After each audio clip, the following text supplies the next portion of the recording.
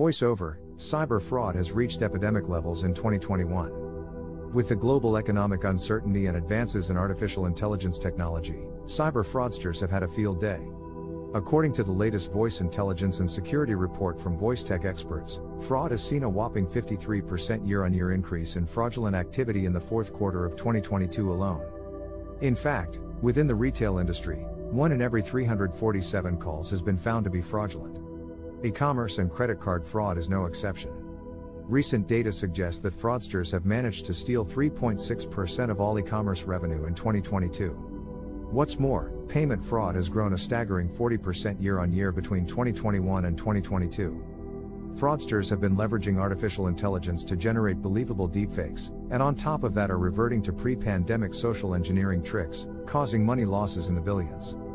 Fraud is the most common in states with laws that put extra restrictions on the use of biometrics, and those states contribute to 33% of all fraud losses reported in the US. At the same time, some US states are reportedly working on a bill to regulate voice, without notable security of fraud prevention exemptions. This could render some of the most effective anti fraud detection mechanisms obsolete. What then can be done to protect business and consumers alike from cyber frauds? Well, one of the best methods is still the human voice, as it can be used to detect and verify fraud.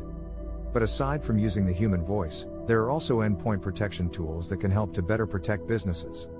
The best endpoint protection tools are constantly changing, so it pays to stay up to date with the latest tools available. So, be sure to stay keel, comply with laws and regulations, and use the latest endpoint protection tools to help protect your business from cyber fraudsters.